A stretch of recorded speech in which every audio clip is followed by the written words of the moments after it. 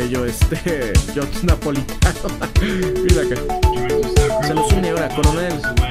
Eh, lo extrañé cuando estuve fuera, dos semanas. Pero muchas cosas hay que hablar de los eventos que han sucedido cuando no estuve y muchas cuestiones de relaciones exteriores y gracias por tu tiempo, se lo aprecio demasiado. Mira, déjame decirte que no te creí, yo pensé que estabas cruzando un coma en la playa y estando en tu villa y donde ningún no, no me tuviste ninguno de tus pensamientos. Desearía que hubiese tenido esta vacación que estás diciendo y estos eventos de las cosas en donde de controlan. Mark Twain una vez dijo, bueno, coronel, esta noche el primer ministro Netanyahu se dirigió al público israelí y donde en tiempo de la tarde de Israel y donde hablaba sobre el cortar las cabezas, hablando de manera metafórica y donde bien la IDF directamente ha tomado el crédito por la eliminación de Beirut y la eliminación en Teherán Obviamente, esto lo sabemos porque ¿cómo la mediación para el cese al fuego puede ser exitosa cuando un lado asesinó a los topes negociadores del otro lado? Simple respuesta es que no va a ser. No creo que esto haya sido accidental porque no hay mucha evidencia de que el señor Netanyahu y su gobierno estén interesados en la paz de alguna clase y lo que están interesados en este momento es explotar lo que ellos consideran una superioridad estratégica de que van a resultar en muchas partes del respaldo incondicional. ¿no? Y que para nosotros resultará la muerte. ¿Acaso la EDF, estos de fuerzas de la defensa israelí, tienen superioridad? Uh, Incluso si Joe Biden y Kamala Harris y Donald Trump dicen, no te preocupes, estamos contigo. Claro que pienso en ello. Primero que nada, no hay nadie más en la región que realmente tenga una fuerza aérea que posiblemente pueda este compararse con los israelíes en términos tecnológicos o desempeño. Tienes que cambiar a los estados europeos Rusia, al parecer China. Yo no creo que los turcos y su fuerza aérea tengan la misma categoría, ¿no? Porque al fin y al cabo Israel es el único que tiene ahí en esa área los F-35 a tope de gama, ¿no? Y por lo que sé, ha habido un paradigma que está cambiando ya el tema de la guerra moderna, porque vivimos en la era de los uh, misiles y donde los golpes de precisión, la dominancia de eh, Aires, creo que dijo del domo de hierro. Esas cosas no necesariamente son están enteramente en las manos israelíes, donde ya se perdieron ese monopolio. Y lo que pienso es que es peligroso hacer lo que han hecho, pero dado el momento parece que fue diseñado para provocar esta guerra de Mr. Netanyahu y esto arrastra a nosotros. Dime si algunas de estas cosas que hemos visto donde la IDF ha puesto, uh, ha fallado eliminando a Hamas y ha fallado controlando Gaza. Y no quieren pelear más guerras y ampliamente sus reservistas militares están cansados, agotados. Y si mucho de esto es verdad, ¿acaso están en alguna forma para entrar al Líbano? Mira, lo que pienso es que hay muchas verdades de lo que estás diciendo, pero recuerda cuando estabas hablando sobre las fuerzas de la defensa israelíes, que es esencialmente una versión más grande de la Guardia Nacional de los Estados Unidos, donde estos son soldados ciudadanos y donde si esto hace lo correcto, muchos de ellos también han tenido bastantes eh, pérdidas. Y obviamente nadie en ninguno de los dos lados de la ecuación en esta región estén interesados en decir la verdad, pero los israelíes y las fuerzas terrestres tienen la expectativa de que la defensa de las fuerzas eh, israelíes y la defensa aérea van a golpear decisivamente y les van a hacer progresos más fáciles para que en el terreno de otra manera no sería como antes. Yo lo que creo es que están muy preparados para poder utilizar estos instrumentos nucleares en Líbano. ¿Acaso los militares iraníes tengan suficientes drones y misiles y otros proyectiles con los cuales esta eh, herida infligida a sus militares y, puedan atacar el Estado israelí? Claro que sí, y no hay ninguna duda en ello. Y lo que realmente es muy peligroso a este, este punto es que mucho de la población israelí en el norte, también como la del sur, han estado sacadas de hacia el centro de Israel, que significa que tienes una área muy concentrada de población. Híjole, amigos, sí es cierto. Y cuando esto se viene a esta densidad, lo que representa es que vas a estar un oponente que tiene la oportunidad de eliminar un gran número de ellos. Amigos, y pongan algo en contexto también. Los precios en Israel de los artículos de primera necesidad y de alimentos han ido por los cielos. Esto no es sostenible.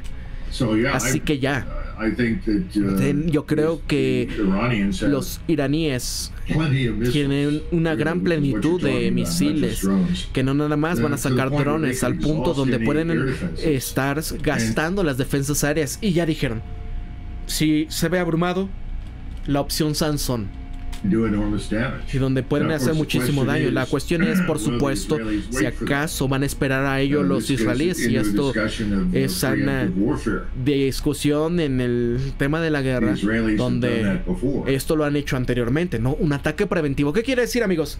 Que quizás no esperan las 72 horas y quizás desaparecen Irán, Líbano, Siria, Irak, Yemen, ¿Y qué dirá Estados Unidos? Para lavar la cara. Es que eh, no había otra manera.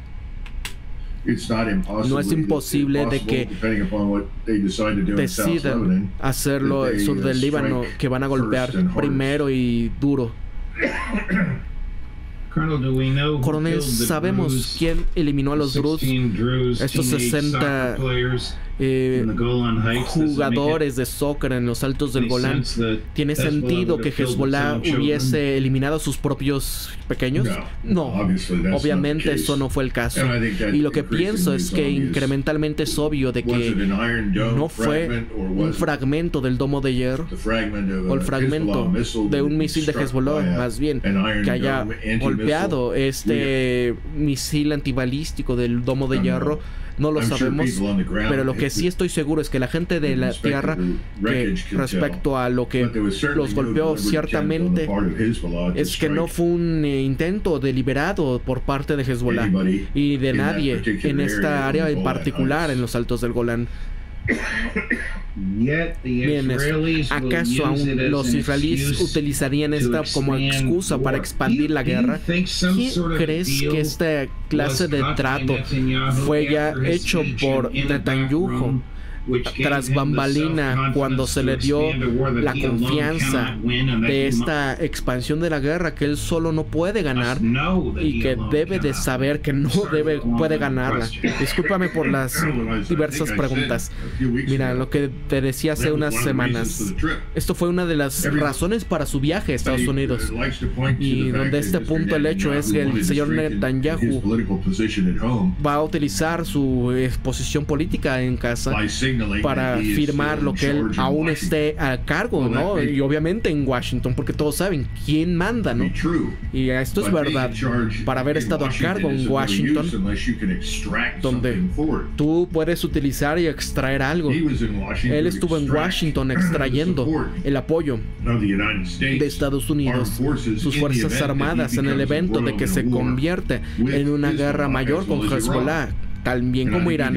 Y yo creo que lo obtuvo con las provisiones y lo que creo que las obtuvo, donde ciertamente estamos preparados para, bueno, se está preparando para lanzar estos ataques aéreos uh, en apoyo a la IDF, yo no me sorprendería si puede haber un ataque en Medio Oriente con bombarderos listos para volar en esa dirección. Así que, una vez más, cualquiera que hagamos con esta situación de misiles aéreos o ataque aéreo, que hemos discutido esto incluso anteriormente, donde ya se están preparando un gran número de tropas terrestres, creo que fueron 2.500, simplemente porque No tenemos más que mandarles. A ver, cuando dices eh, aéreo y misiles, ¿te estás refiriendo también a este estos drones no aéreos que pueden ser tumbados? Sí.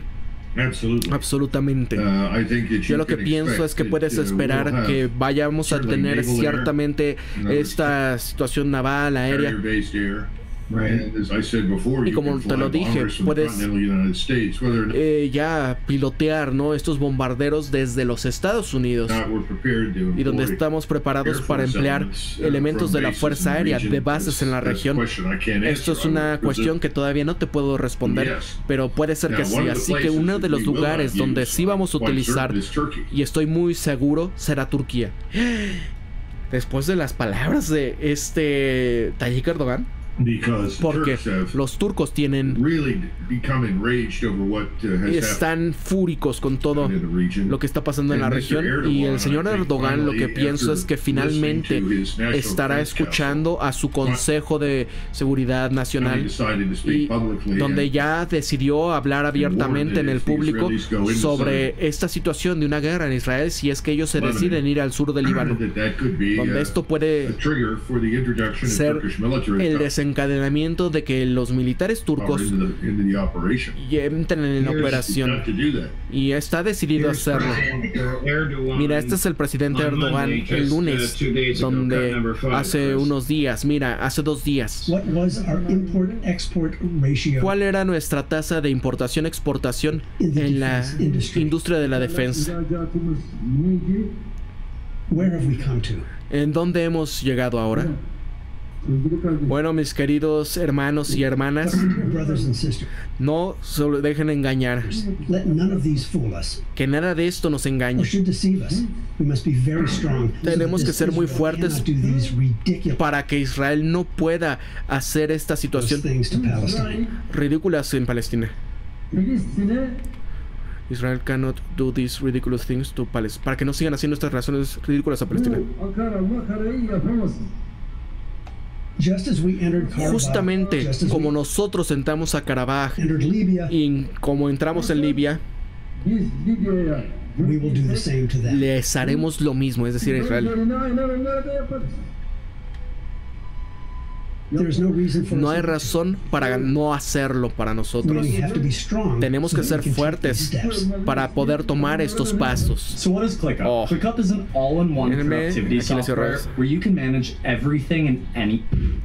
Coronel, esto es una uh, amenaza seria para las tropas turquías terrestres entrar a Israel.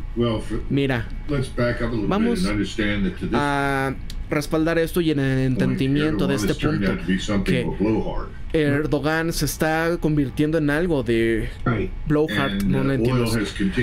Y donde el petróleo se continúa moviendo desde Turquía hacia Israel para poder este pues llenar ¿no? el combustible del poderío militar israelí.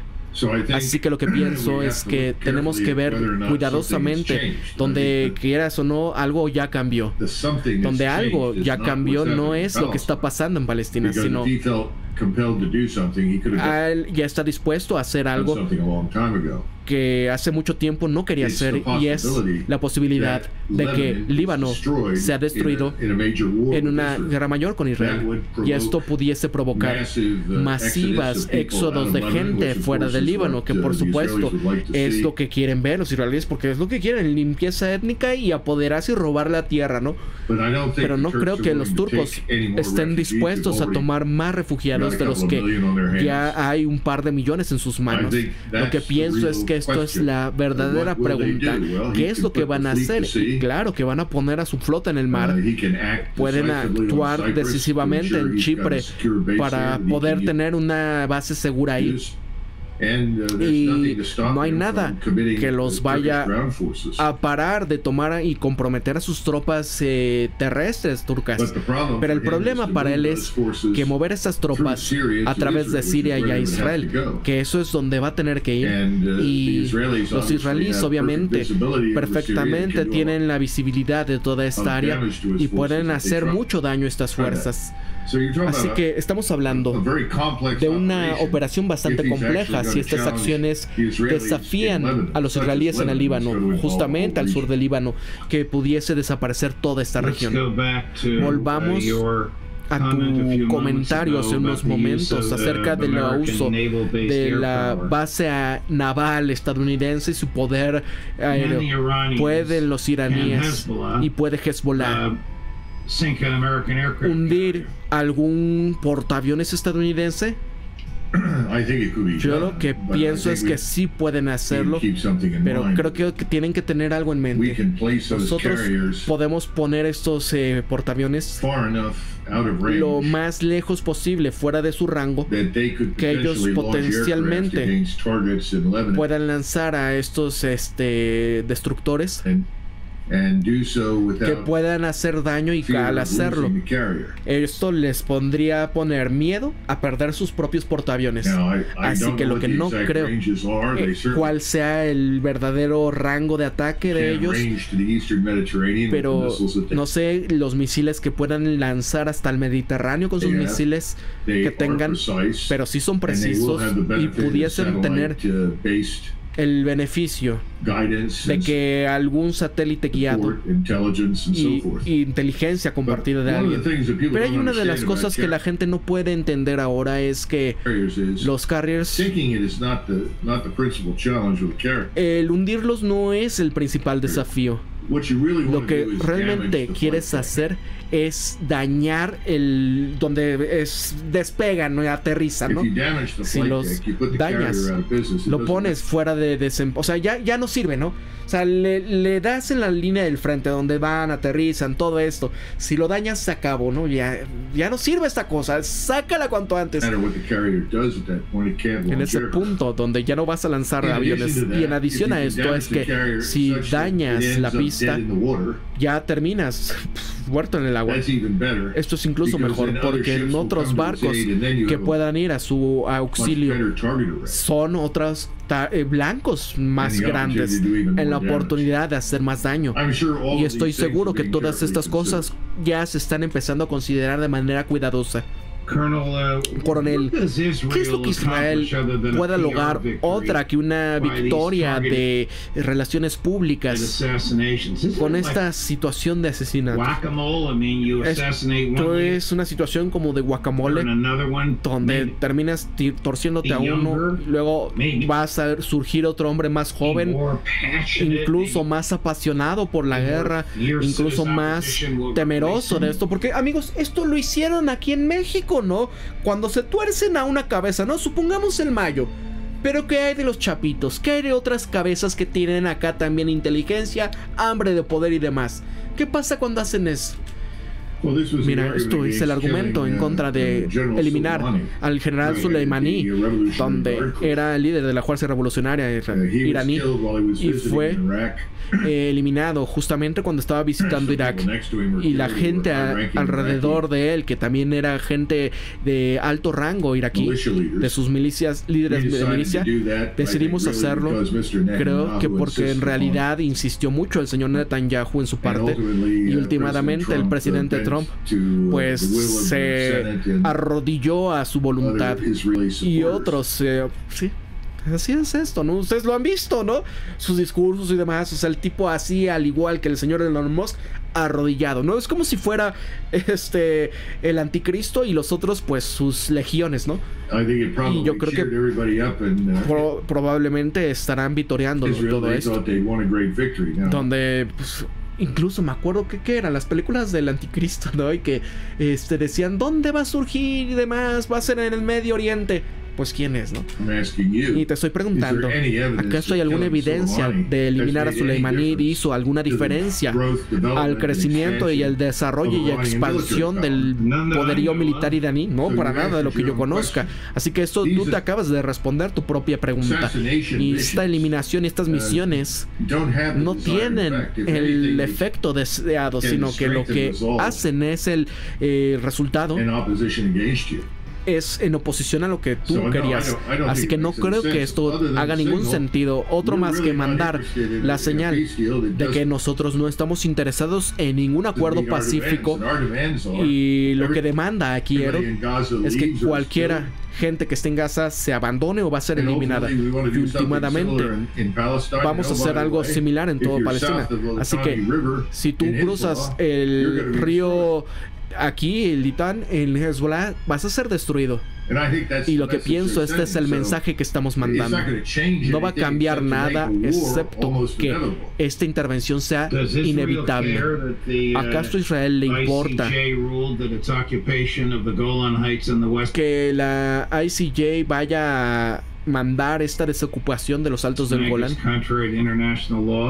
Porque eso está, ¿no? Esta Corte Internacional de Justicia, pues ya está en contra de ellos, ¿no? No, no, no, no. Absolutamente no, no van a obedecer, ¿no? Hay que tener en cuenta esto. Cuando esta intervención termine, va a ser un gran sentido para Israel el seguirse manteniendo robando los altos del Golán. No sé si has estado ahí, pero si vas allá vas a entender la estrategia donde es una colina ahí, ¿no? Donde puedes ver abajo a Damasco, a Israel y todo. Tienes toda esta cuestión alta que son los altos del Golán enfrente de ti. Y por un lado tienes montañas y por el otro tienes estas colinas abajo. Así que es una posición de comando muy estratégica. Así que si yo fuera Israel, uh, jamás la rendiría. El problema que ellos tienen ahora es que ellos provocaron esta intervención más grande y donde se han atraído todas las tensiones a sí mismas y ya se pusieron en la posición desafortunada de ser demonizados por absolutamente todos en el mundo, a excepción de nosotros. Y es verdad, ¿no? O sea, la verdad es que ¿quién puede defender lo que han hecho ellos? Nadie por lo menos alguien con humanidad. Uh, ¿Acaso el señor Netanyahu, hasta donde tú tienes entendido, reconoce el peligro uh, de atacar a Hezbollah y posiblemente traer a Hezbollah a esto? ¿Y acaso no tienen miedo de que detrás de Irán estará Vladimir Putin? Mira, la respuesta a la primera pregunta es absolutamente sí. Los israelíes ya lo saben, saben que Hezbollah es la pelea más fuerte que van a tener en todas sus vidas y lo que yo he pensado que ya van a empezar a pensar a utilizar estas armas nucleares tácticas contra Hezbollah. y esto va a dar mucho daño considerando que muchos de sus luchadores y sus capacidades están en el terreno. obviamente no están en la superficie. Pueden resistir esta clase de detonaciones, yo no lo sé, no puedo evaluarlo, pero sospecho que muchas áreas, claro que sí, y otras no. Pero esta clase de preparación o su equivalente en términos convencionales que tú has visto a cualquiera de las tropas terrestres de la IDF donde teóricamente han limpiado absolutamente todos los restos que quedan. Así que hasta donde concierne a Rusia, creo que este es otro problema para el señor Netanyahu y Estados Unidos, porque creo que está certero que sabe que si ataca a Hezbollah y por todo lo que te he estado describiendo va a pasar, Irán definitivamente va a entrar en esto. y no tiene ya ni siquiera este God, este los las agallas o algo así. Y nosotros tampoco. Y la defensa aérea suficiente para parar todo lo que van a aventar hacia Israel. Así que Israel definitivamente va a tocar, tomar muchísimas pérdidas humanas uh, y infraestructura. Y en ese punto, la pregunta será, ¿qué es lo que van a hacer en contra de Irán? Y ellos van a decidir la utilización del uso de instrumentos nucleares será algo que justificaría y van a tratar de usarlos contra Irán. Y si esto puede ocurrir, esto me, me, golpea una certeza de que Rusia y probablemente los chinos también potencialmente otras naciones, uh, pakistaníes, creo que en ese punto, incluso los turcos, van a, que han restringido su, su, poderío de fuego por mucho tiempo, van a justificar que se van a ir en contra de Israel. Y claro, ¿no? Porque al final y al cabo no respetan las reglas, se tuercen a todos, nos consideran a todos los que no somos como ellos, este, pues gentiles, ¿no? Como animales humanos, como dicen. ¿Y, qué va a pasar, amigos? O sea, ya lo dijo, no son mis palabras. Los pakistaníes dijeron, si Turquía lo pide, les prestamos instrumentos nucleares. Lo acaba de decir Tayyip Erdogan. Fácilmente vamos a entrar, ¿no? Pero no es que entren. Van a usar el poderío que tienen los instrumentos ahí eh, todos, amigos. y, es lo que dicen estas, este, sus historietas, ¿no? De que todas las naciones se levantarán contra él y van a cumplir lo que él quiere, lo que siempre ha buscado, Eliminar la semilla de Amalek, que somos todos, ¿no? Y si deciden que vamos a intervenir, que puede ser una certeza, nos vamos a confrontar con la realidad de que vamos a pelear contra ellos. ¿Cuál es un instrumento táctico nuclear? Mucha piensa va a pensar que esto yo pienso, tienen la imagen de Nagasaki o Hiroshima. Me imagino cuando hablas acerca de algo así. Un poco menos que eso. Mira, usualmente, pero no siempre, nos referimos a algo menos de 5 kilotones, ¿no? Algo así como los FAB 3000.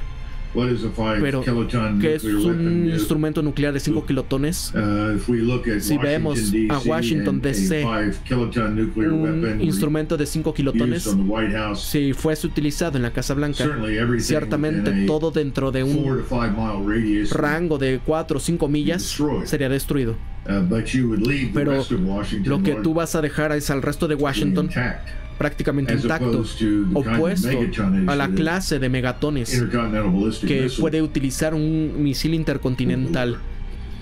Así que lo que pienso es que esa es la clase de cosa que considerablemente podemos ver en el sur del Líbano. Oh. Pero piensen esto, amigos. Ustedes han visto los instrumentos que se han utilizado en Ucrania, ¿no? Los FAB 3000. Los FAB, este. Sí, es de momento la más fuerte que han utilizado. Ahí está, ¿no? Esto es en lo que concierne a esta parte. La siguiente lo vemos mañana, ¿no? Que es sobre el tema de Ucrania, o sea, eh, no es nada más el único conflicto aquí, amigos. A ver, ¿qué están comentando? Espero que no se me vayan a haber estado peleando por acá. Eh, Guille Pacori, mira, en los Juegos Olímpicos anunciaron que se veían ríos de sangre que se derramaran. Lastimosamente no serán sus hijos y familiares, sino tontos útiles que somos nosotros, dice Guille. Bueno, ¿acaso en Estados Unidos están dispuestos a cooperar pues voluntariamente en estos esfuerzos. O sea, son cosas que, que puede sobrepasarnos amigos. ¿Y qué va a pasar, no? ¿Qué horror lo que se viene? Dice Alberto González. El Pet Goat se veía el Vaticano ardiendo. Mira, no será el final de la humanidad, pero sí la limpieza, el gran reinicio, está cada vez más cerca. Amigos, yo sé que mucha gente dice, ay, otra vez se acabó y se acabó. Vean, Vean cómo una serie y esto se sigue acelerando la caída en picada hacia la tercera, hacia el conflicto más amplio, ¿no? ¿Se acuerdan cómo iniciaba 2020? ¿Cómo, ¿Cómo eran las cosas cuando veíamos muy de lejos? Nunca va a pasar como se fueron adoptando medidas que jamás se habían pensado y así como lo que significó en el 2001 esta situación donde marcó el punto de quiebre que cambió absolutamente el tema de seguridad y demás, ¿qué pasó con esto? Y después 2022 que no creíamos, no, no, Rusia nunca va a atacar, no le conviene, no esto, no lo otro y al final no le dejaron ninguna situación más que hacerlo. ¿Qué está pasando ahora con todo el Medio Oriente que no le están dejando ninguna opción diplomática? Ya China ya lo dijo ampliamente, tenemos que hacer los esfuerzos no nada más de palabras, sino empezar a tomar las acciones. Ya Turquía también lo dijo y, y ¿qué va a pasar? Al final ellos están dejando sin ninguna carta, sin ninguna acción para que la diplomacia pueda prevalecer. Esto se va a acabar, ¿eh? Igual en medicinas, alimentos, agua dulce embotellada, creo que sería bueno tener en caso afuera de las grandes ciudades. Ya me voy a dormir. Andrés Mijarres, amigos, igual aquí.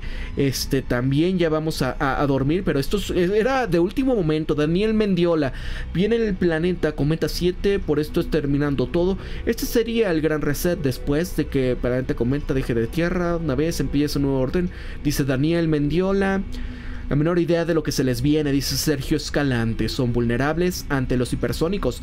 Pero es que no sienten como que esto están buscando.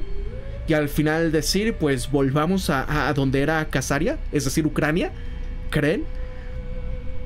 Eh, de nada sirve, mi estimado Alberto. O sea, es eso de decir, preparándonos con pastillas de yodo y demás la contaminación y lo que viene después, porque pues ya es la escalada sin control, ¿no? Hacia esto y lo otro y lo demás. Es terrible. Que Dios nos ampare, dice Sin González, exactamente. La trampa del comunismo. Y esto es el poder de ellos, dice Cien de Cilantro tú sigue el no, amigo, ya, ya, ya, ya, porque si no, esto, eh, verdad, vamos a dejarlo hasta aquí. Amigos, muchísimas gracias por haber estado presentes en este video programa, gracias por sus comentarios, gracias por apoyarme con su presencia. Estas son las noticias de último momento, el Insomnia Stream para la Gran Humana MX. Se despide Pablo y recuerden esto siempre, piensen críticamente, sean ustedes mismos, conózcanse de verdad quiénes son sean empáticos amigos. Gracias por todo. Gracias por su presencia. Nos vemos hasta la próxima. Cuídense mucho y pórtense bien. Hasta luego.